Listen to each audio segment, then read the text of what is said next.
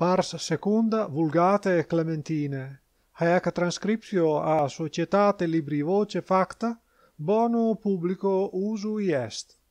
Caput tertium decimum. Ascendit ergo Abram de Aegypto, ipse et uxor eius et omnia quae habebat, et lot cum eo ad australem plagam. Erat autem dives valde in possessione auri et argenti, reversusque est per iter quo venerat a meridie in Betel, usque ad locum ubi prius fixerat tabernaculum inter Betel et Hai. In loco altaris quod fecerat prius, et invocavit ibi nomen Domini, sed et Lot qui erat cum Abram fuerunt greges ovium, et armenta et tabernacula. Nec poterat eos capere terra, ut habitarent simul, erat quippe substantia eorum multa et nequibant habitare communiter unde et facta est rixa inter pastores gregum Abram et Lot. Eo autem tempore Cananeus et pharezeus habitabant in terra illa. Dixit ergo Abram ad Lot ne queso sit iurgium inter me et te et inter pastores meos et pastores tuos fratres enim sumus ecce universa terra coram te est recede a me obsecro si ad sinistram ieris ego destram tenebo. Si tu destram elegeris ego ad sinistram pergam. Elevatis itaque lot oculis vidit omnem circa regionem Iordanis quae universa irrigabatur antequam subverteret Dominus Sodomam et Gomorram, sicut paradisus Domini, et secut Egyptus venientibus insegor. E legitque sibilot regionem circa Iordanem, et recessit ab oriente. Divisique sunt alterutrum a fratre suo. Abram habitavit in terra Canaan, Lot vero moratus est in Opidis, quae erant circa Iordanem, et habitavit in Sodomis. Homines autem Sodomite pessimi erant, et peccatores coram domino nimis. Dixitque Dominus ad Abram, posquam divisus est abeo Lot. Leva oculos tuos, et vide a loco in quo nunc es ad Aquilonem et Meridiem, ad Orientem et Occidentem, omnem terram quam conspicis tibi dabo et semini tuo usque in sempiternum. Faciamque semen tuum sicut pulverem terre. Si quis potest hominum numerare pulverem terre semen quoque tuum numerare poterit. Surge et perambula terram in longitudine et in latitudine sua quia tibi daturus sum eam movens igitur tabernaculum suum Abram, venit et habitavit justa convallem Mambre, quae est in Hebron, a edicavitque ibi altare Domino. Caput quartum decimum. Factum est autem in illo tempore, ut Amraphel rex Sennar, et Arioch rex Ponti, et Codor Lahomor rex Elamitarum, et Tadal rex Gentium, inirent bellum contra bara regem Sodomorum et contra Bersa regem Gomorre et contra Senab regem Adame et contra Semeber regem Seboim contraque regem Bale ipsa est Segor. Omnes his convenerunt in vallem silvestrem quae nunc est mare salis. Duodecim enim annis servierunt codor Lahomor et tertio decimo anno recesserunt Tabeo. Igitur quarto decimo anno venit Codor Laomor et reges qui erant cum eo, percusseruntque Raphaim in Astoroth Carnaim, et Zuzim cum eis, et Emim in Save Cariataim, et Correos in montibus Seir, usque ad campestria faran, quae est in solitudine reversique sunt et venerunt ad fontem misfat ipsa est cades et percusserunt omnem regionem Amalacitarum et Amoreum qui habitabat in Asa Sontamar et egressi sunt rex Sodomorum et rex Gomorre rexque Adame et rex Seboim nec non et rex Bale quae est Segor et direxerunt acem contra eos in valle Silvestri scilicet adversus codor lahamor regem elamitarum et tadal regem gentium et amraphel regem sennar et arioch regem ponti quatuor reges adversus quinque. Vallis autem silvestris habebat puteos multos bituminis. Itaque rex sodomorum et gomorre terga verterunt ceciderunque ibi et qui remanserant fugerunt ad montem tulerunt autem omnem substantiam sodomorum et gomorre et universa quae ad cibum pertinent et abierunt nec non et lot et substantiam eius filium fratris abram qui habitabat in sodomis. Et ecce unus qui evaserat nunciavit abram hebreo qui habitabat in convalle mambre Amorai fratris escol et fratris aner, hi enim pepigerant fedus cum Abram, quod cum audisset Abram captum videlicet Lot fratrem suum, numeravit expeditos vernaculos suos trecentos decem et octo, et persecutus est usque Dan, et divisis sociis irruit super eos nocte, percussitque eos, et persecutus est eos usque hoba, quae est ad levam damasci.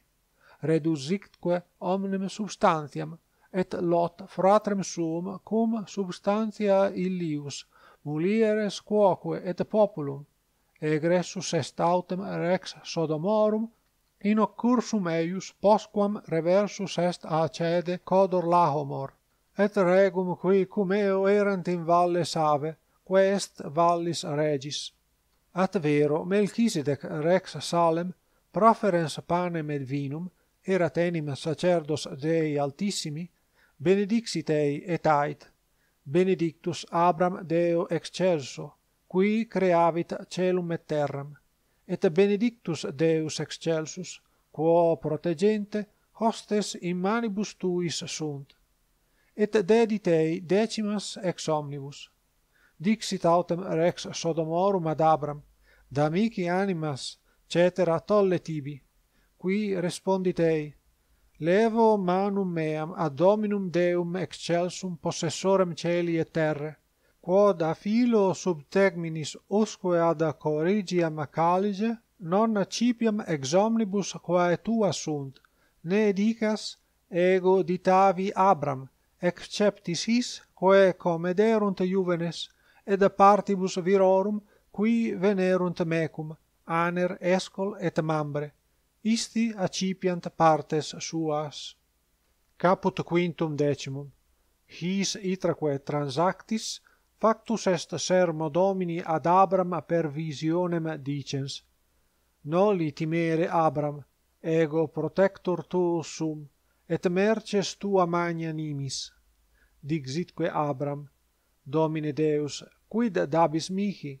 Ego vadam absque liberis et filius procuratoris domus meae iste Damascus Eliezer.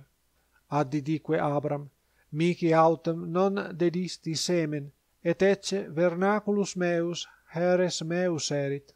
Statinque sermo Domini factus est ad eum dicens non erit hic heres tuus sed qui egredietur de utero tuo ipsum habebis heredem et uxitque eum foras et ait illi suspice celum et numera stellas si potes et dixit ei sic erit semen tuum. Credidit abram deo et reputatum est illi ad justitiam. Dixitque ad eum ego dominus qui eduxi te de ur caldeorum ut darem tibi terra mistam et possidere seam et ait ille Domine Deus unde scire possum quod possessurum si meam et respondes Dominus sume inquit mihi vaccam triennem et capram trimam et arietem annorum trium turturem quoque et columbam qui tollens universa haec divisitea per medium et utrasque partes contra se altrinsecus posuit. Aves autem non divisit. Descenderunque volucres super cadavera, et abigebat eas Abram. Cunque sol occumberet, sopor irruit super Abram, et horror magnus et tenebrosus invasit eum. Dictunque est ad eum, scito prenoscens quod peregrinum futurum sit semen tuum in terra non sua et subicient eos servituti et affligent quadringentis annis. Veruntamen gentem cui servituri sunt ego judicabo et post haec egredientur cum magna substantia. Tu autem ibis ad patres tuos in pace sepultus in senectute bona generatione autem quarta revertentur huc nec dum enim complete sunt iniquitates amor eorum usque ad preses tempus cum ergo occubuisset sol facta est caligo tenebrosa et apparuit clebanus fumans et lampas ignis transiens inter divisiones illas in illo die pepigit dominus ferus cum abram dicens semini tuo dabo terram hanc fluvio aegypti usque ad fluvium magnum euphraten cineos et cenaseos cedmoneos et heteos et fereseos rapha in quoque et amoreos et cananeos et gergeseos et jebuseos. Caput sextum decimum. Igitur Sarai uxor Abram non genuerat liberos, sed habens ancillam Egyptiam nomine Agar dixit marito suo, ecce conclusit me Dominus ne parerem, ingredere ad ancillam meam, si forte saltem exilla suscipiam filios, cumque ille acquiesceret deprecanti, tulit agar Egyptiam ancillam suam post annos decem quam habitare ceperant in terra Canaan et dediteam viro suo uxorem qui ingressus est ad eam Attila concepisse se videns despexit dominam suam dixitque Sarai ad Abram inique agis contra me ego dedi ancillam meam in sinum tuum qua evidens quod conceperit despectui me habet. Iudicet dominus inter me et te cui respondes abram ecce ait ancilla tua in manu tua est utere ea ut libet affligente igitur eam sarai fugam iniit cumque invenisset eam angelus domini justa fontem aquae in solitudine qui est in via sur in deserto, dixit ad illam, Agar, ancilla Sarai, unde venis? Et quo vadis? Quae respondit, A facie Sarai domine me ego fugio. Dixitque ei angelus domini, revertere ad dominam tuam, et humiliare sub manu illius. Et rursum, multiplicans inquit, multiplicabo semen tuum et non numerabitur pre multitudine ac deinceps ecce ait concepisti et paries filium vocabisque nomen eius Ismael eo quod audierit Dominus afflictionem tuam hic erit ferus homo manus eius contra omnes et manus omnium contra eum et e regione universorum fratrum suorum figet tabernacula. Vocavit autem nomen Domini, qui loquebatur ad eam. Tu, Deus, qui vidisti me, dixit enim, profecto, hic vidi posteriora videntis me, propterea appellavit puteum illum puteum viventis et videntis me ipse est inter Cades et Barad. Peperitque agar abre filium, qui vocavit nomen eius Ismael. Octoginta et sex annorum erat Abram, quando peperit ei agar Ismaelem. Caput septimum decimum. Posquam vero non aginta et novem annorum esset ceperat, apparuit ei Dominus, dixitque ad eum, ego Deus omnipotens ambula coram me et esto perfectus. Ponamque fedus meum inter me et te et multiplicabo te vehementer nimis. Cecidit Abram pronus in facem dixitque ei Deus ego sum et pactum meum tecum erisque pater multarum gentium nec ultra vocabitur nomen tuum Abram sed appellaberis Abraham, quia patrem multarum gentium constituite, faciamque te crescere vehementissime, et ponem te in gentibus regesque ex te egredientur, et statuam pactum meum inter me et te, et inter sementum post te in generationibus suis, federe sempiterno ut sim Deus tuus et seminis tui post te, daboque tibi et semini tuo terram peregrinationis tue, omnem terram Canaan in possessionem aeternam, eroque Deus eorum.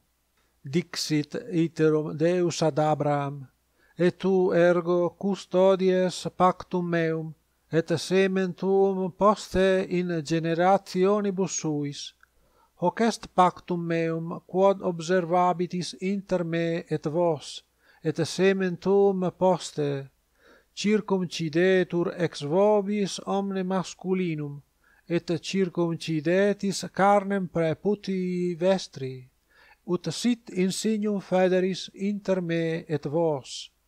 Infans octodierum circumcidetur in vobis omne masculinum in generationibus vestris, tam vernaculus quam emptitius circumcidetur, et quicunque non furit de stirpe vestra, eritque pactum meum in carne vestra in fedus aeternum, masculus cuius praeputii caro circumcisa non fuerit de lebitur anima illa de populo suo, quia pactum meum irritum fecit dixit quoque Deus ad Abraham, Sarai uxorem tuam non vocabis Sarai, sed Saram, et benedica mei, et exilla dabo tibi filium cui benedicturus sum, eritque in nationes, et reges populorum orientur exeo.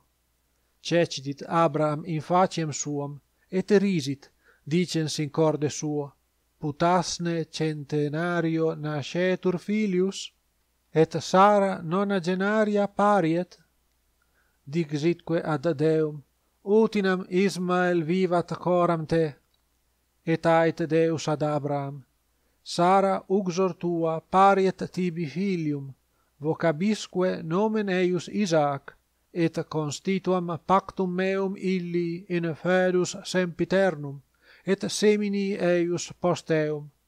Super Ismael quoque exaudivi te, ecce benedica mei, et augebo et multiplicabo eum valde. Duodecim duces generabit, et faciem illum ingentem magnam. Pactum vero meum statuam ad Isaac, quem pariet tibi Sara tempore isto in anno altero. Cunque finitus esset sermo loquentis cum eo, ascendit Deus ab Abraham.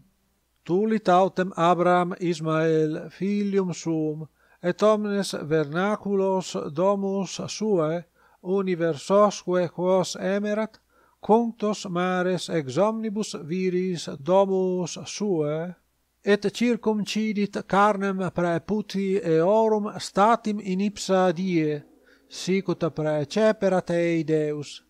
Abram non aginta et novem erat annorum quando circumcidit carnem preputi sui. Et Ismael, filius tredecim annos, impleverat tempore circumcisionis sue. E adem die circumcisus est Abraham et Ismael filius eius et omnes viri domus illius tam vernaculi quam emptiti et alienigene pariter circumcisi sunt.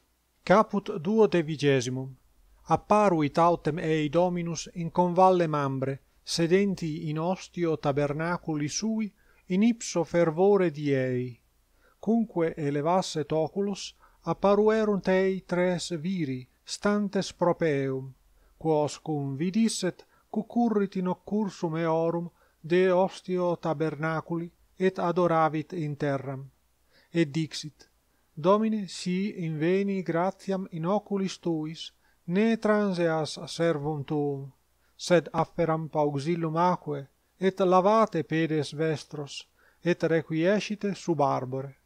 Ponanque buccellam panis et confortate cor vestrum postea transibitis, id circo enim declinastis ad servum vestrum, qui dixerunt, facut locutus es, festinavit Abraham in tabernaculum ad Saram, dixitque ei, accelera, tria sata simile commisce, et fac sub cinericios panes, ipse vero ad armentum cucurrit, et tulit inde vitulum tenerrimum et optimum, deditque puero, qui festinavit et coxit illum, tulit quoquem buturum, et lac, et vitulum quem coxerat, et posuit coram eis, ipse vero stabat justa eos sub arbore.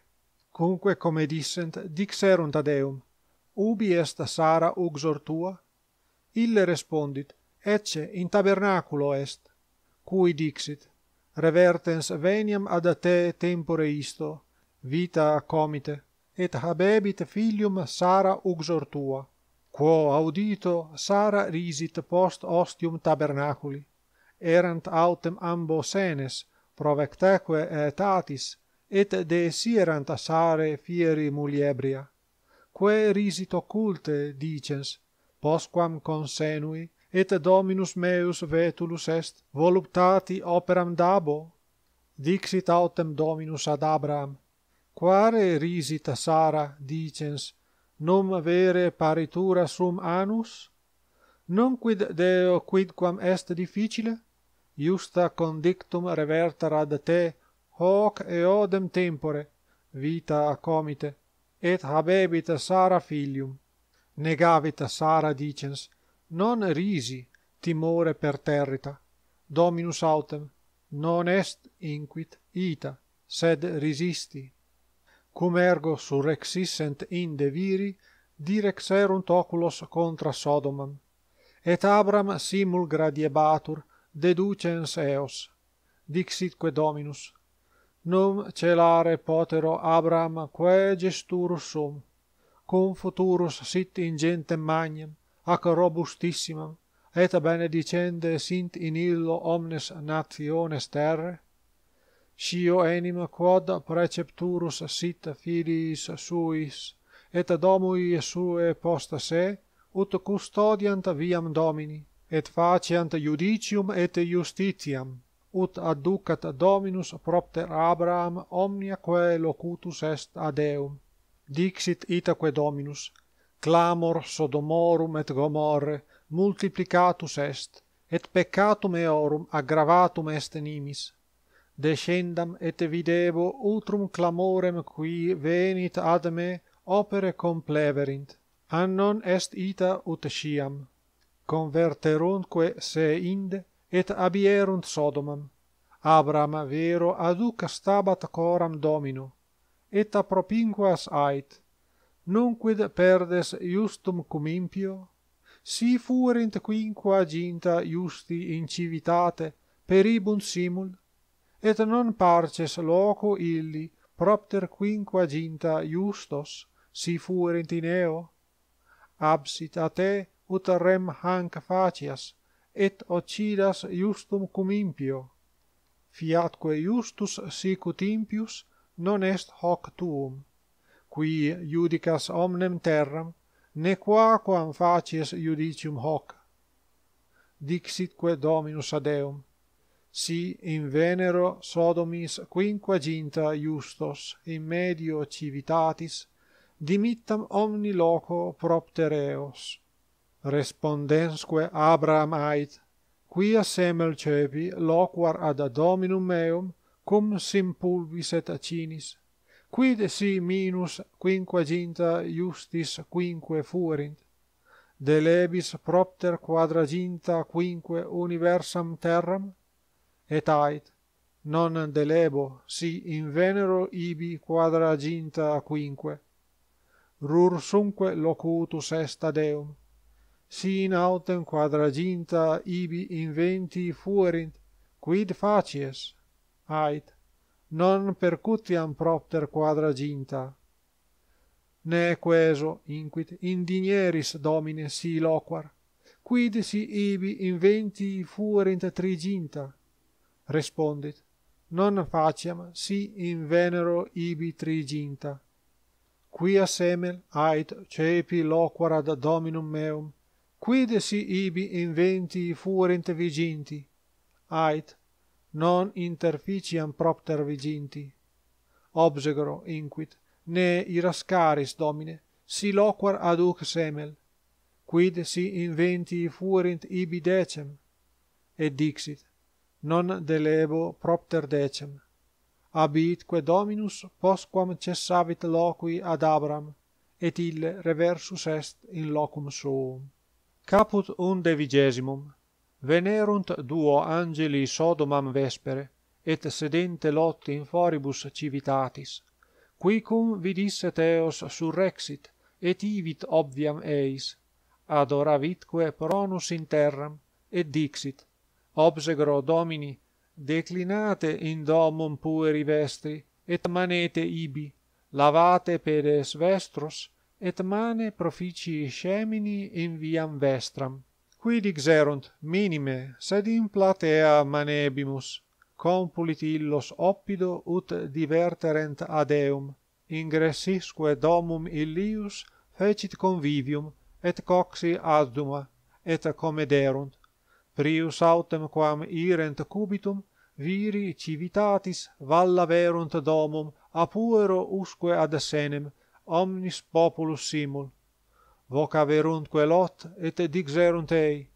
Ubi sunt viri qui introierunt ad te nocte educ illos huc ut cognoscamus eos egressus ad eos lot post tergum occludens ostium ait.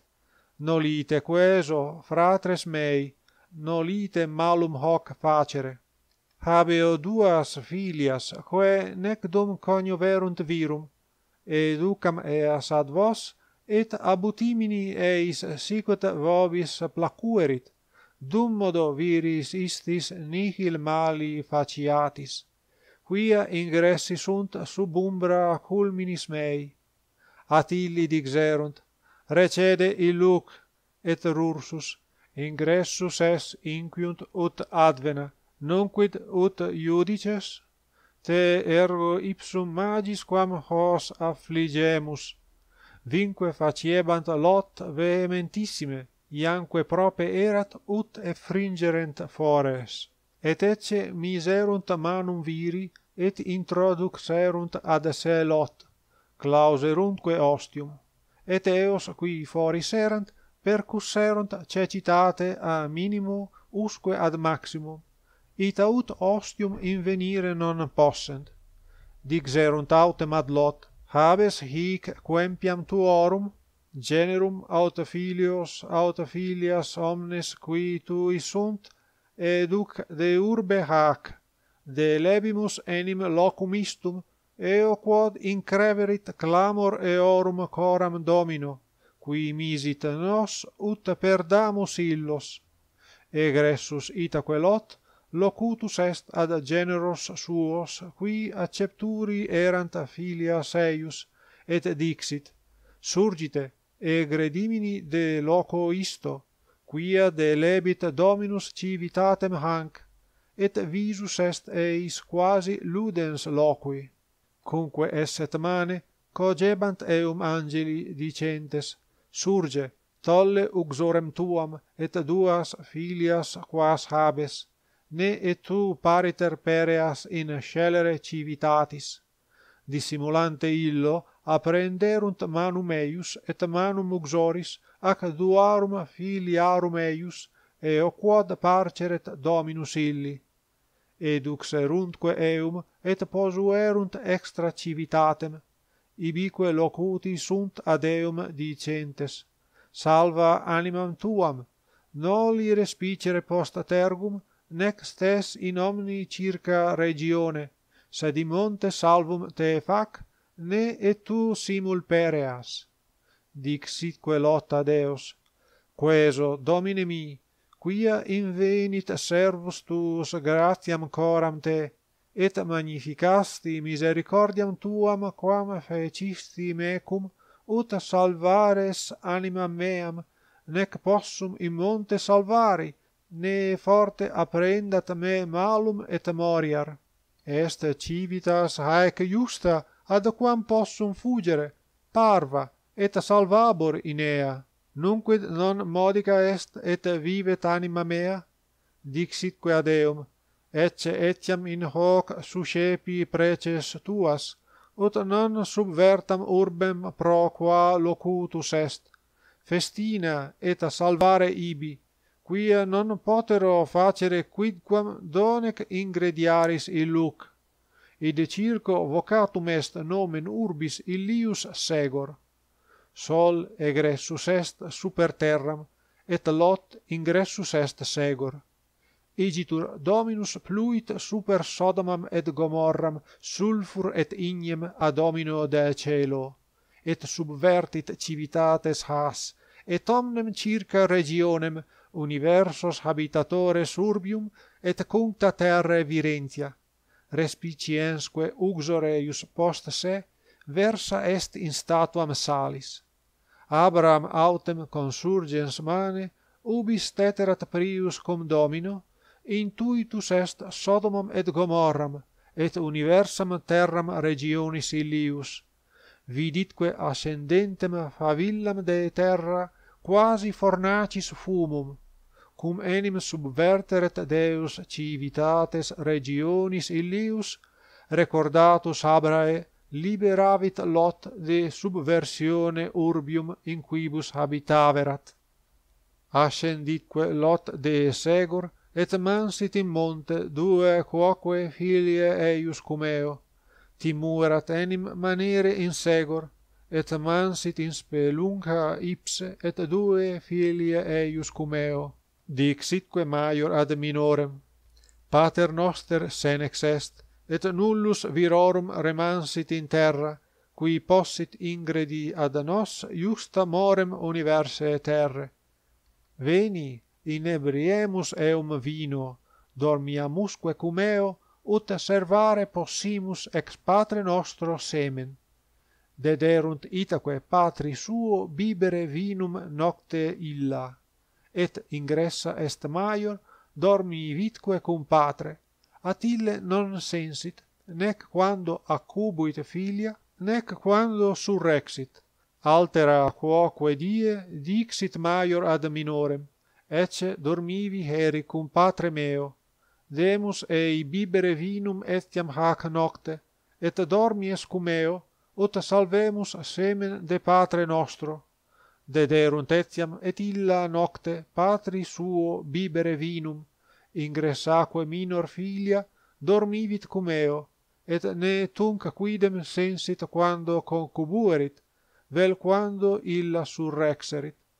Conceperunt ergo due filie lot de patre suo peperitque maior filium et vocavit nomen eius Moab.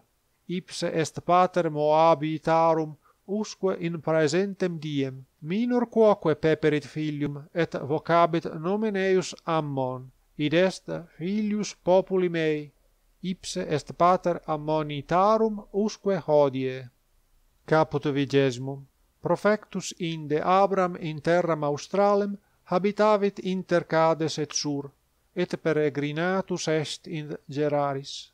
Dixitque de sara uxore sua soror mea est misit ergo Abimelech rex Gerare, et tuliteam veni tauten Deus ad Abimelech per somnium nocte, et ait illi, en morieris propter mulirem quam tulisti, habet enim virum, Abimelech vero non tetigera team, et ait, Domine, num gentem ignorantem et iustam interficies, nonne ipse dixit mihi soror mea est, et ipsa ait frater meu est in simplicitate cordis mei et munditia manum mearum feci hoc dixitque ad eum deus et ego scio quod simplici corde feceris et ideo custodivi te ne peccares in me et non dimisi ut tangere seam.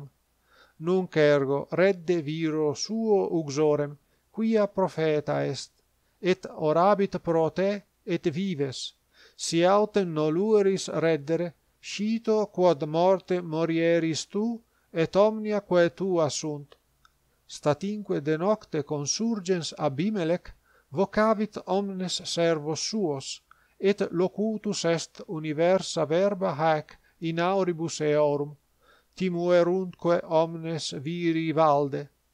Vocavit autem abimelec etiam abram et dixit ei quid fecisti nobis quid peccavimus in te quia induxisti super me et super regnum meum peccatum grande quae non debuisti facere fecisti nobis. Rursumque ex postulans ait quid vidisti ut hoc faceres? Respondit abram cogitavi mecum dicens forsitan non est timor Dei in loco isto et interficient me propter uxorem meam.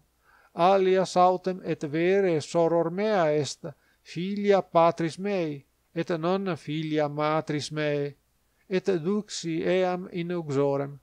Postquam autem eduxit me deus de domo patris mei dixi ad eam. Hanc misericordiam facies mecum.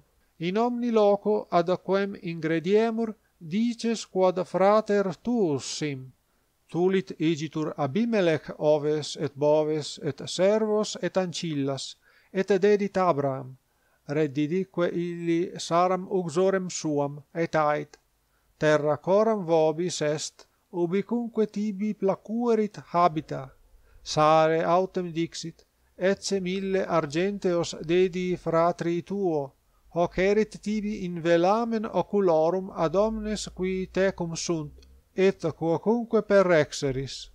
Mementoque te depreensam, orante autem Abram, sanavit Deus Abimelech et uxorem, ancillasque eius et pepererunt.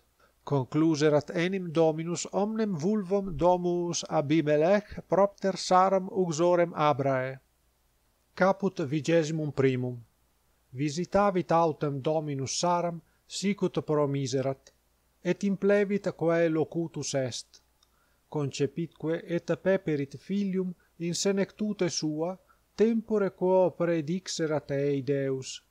Vocavitque Abraham nomen filii sui, quem genuit ei Sara, Isaac, et circumcidit eum octavo die, sicut preceperat ei Deus, cum centum esset tannorum hac quippe aetate patris natus est Isaac. Dixitque Sara risum fecit mihi Deus quicunque audierit corridebit mihi. Rursumque ait quis auditurus crederet Abram quod Sara lactaret filium quem peperit ei iam seni. Crevit igitur puer et ablactatus est fecitque Abram grande convivium in die ablactationis eius. Conque vidisset Sara filium Agar Egyptie ludentem cum Isaac filio suo, dixit ad Abram, Eice ancillam hanc et filium eius, non enim erit heres filius ancille cum filio meo Isaac. Dure accepit hoc Abram pro filio suo, cui dixit Deus non tibi videatur asperum super puerum et super ancilla tua. Omnia quae dixerit tibi Sara audi voce meius quia in Isaac vocabitur tibi semen. Sedet filium ancille faciam ingentem magnam quia semen tuum est. Surrexit itaque Abram mane et tollens panem et utrem aquae imposuit scapule eius, tradiditque puerum, et dimisi team.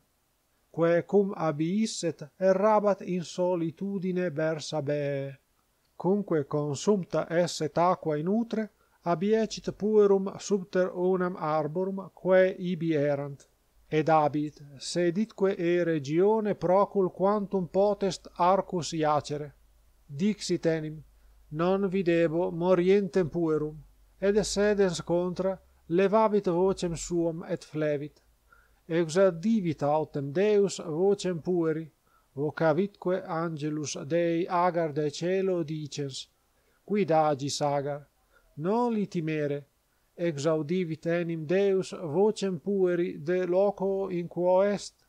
Surge tolle puerum et tene manum illius quia ingentem magnam faciam meum aperuitque oculos eius Deus, quae vides puteum aquae abit et implevit utrem, deditque puero bibere. Et fuit Cumeo, qui crevit et moratus est in solitudine, factusque est juvenis Sagittarius. Habitavitque in deserto Faran, et accepit illi mater sua uxorem de terra Aegypti eodem tempore dixit Abimelech et Ficol princeps exercitu Seius ad Abram, Deus tecum est in universis quae agis. Iura ergo per Deum ne noceas mihi et posteris meis stirpique meae, sed iuxta misericordiam quam feci tibi facies mihi et terre in qua versatus es advena. Dixitque Abram, ego iurabo, et increpavit Abimelech propter puteum aquae quem vi abstulerunt servi eius. Responditque Abimelech, nescivi quis fecerit hanc rem. Sed et tu non indicasti mihi, et ego non audivi preter hodie. Tulit itaque Abram oves et boves, et dedit Abimelech, percusseruntque ambo fedus, et statuit Abram septem agnias gregis seorsum, cui dixit Abimelech, quid sibi volunt septem agne iste, quas stare fecisti seorsum? Atille, septem inquit agnias acipies de manu mea, ut sint mihi in testimonium, quoniam ego fodi puteum istum, id circo vocatus est locus ille Bersabe quia ibi uterque iuravit, et inierunt fedus pro puteo iuramenti. Surrexit autem Abimelech et Ficol princeps exercitus eius, reversique sunt in terram Palestinorum. Abram vero plantavit nemus in Bersabe, et invocavit ibi nomen Domini Dei aeterni, et fuit colonus terre Palestinorum diebus multis caput vigesimum secundum quae postquam gesta sunt tentavit Deus Abram et dixit ad eum Abram Abram et ille respondit ad sum ait illi tolle filium tuum unigenitum quem diligis Isaac et vade in terram visionis atque ibi offeres eum in holocaustum super unum montium quem monstravero tibi igitur Abram de nocte consurgens, stravit asinum suum, ducens secum duos juvenes, et Isaac filium suum. Cunque concidisset ligna in holocaustum, abit ad locum quem preceperat ei Deus. Die autem tertio, elevatis oculis, vidit locum procul, dixitque ad pueros suos, expectate hic cum asino, ego et puer illuc usque properantes postquam adoraverimus revertemur ad vos. Tulit quoque ligna holocausti et imposuit super Isaac filium suum. Ipse vero portabat in manibus ignem et gladium. Cumque duo pergerent simul dixit Isaac patri suo. Pater mi Atille respondit quid vis filii? ecce inquit ignis et ligna, ubi est victima holocausti.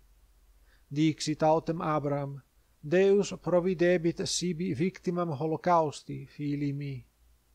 Pergebant ergo pariter, et venerunt ad locum quem ostenderat ei Deus, in quo edificavit altare, et de super ligna composuit. Cumque alligasset Isaac filium suum, posuit eum in altare super struem lignorum, extenditque manum, et arripuit gladium, ut immolaret filium suum.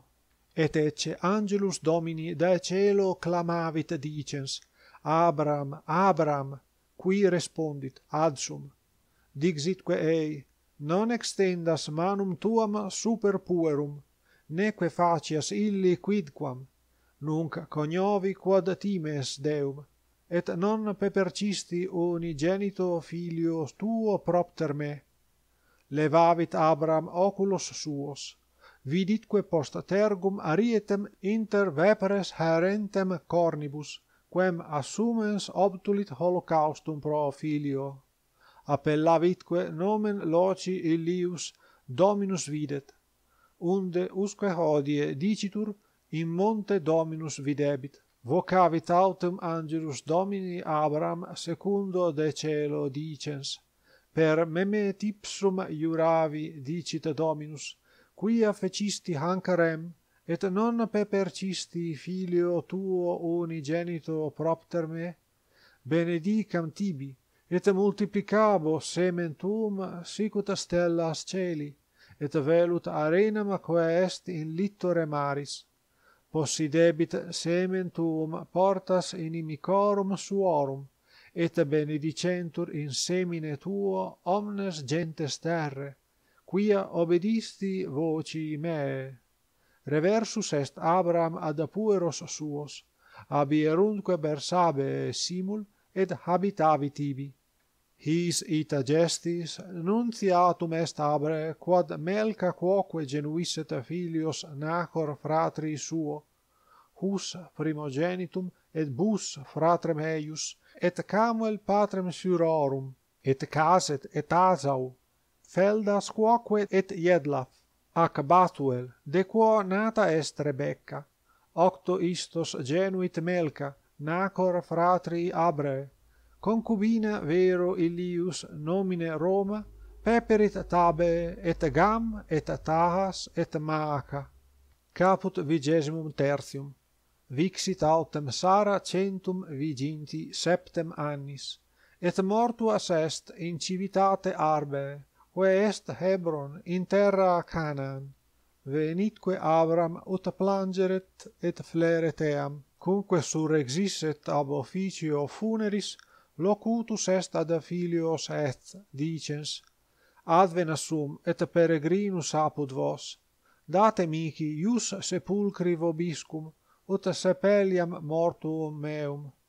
Responderunt filii het dicentes audi nos domine princeps dei es apud nos in electis sepulcris nostris sepeli mortuum tuum nullusque te proibere poterit quin in monumento eius sepelias mortuum tuum.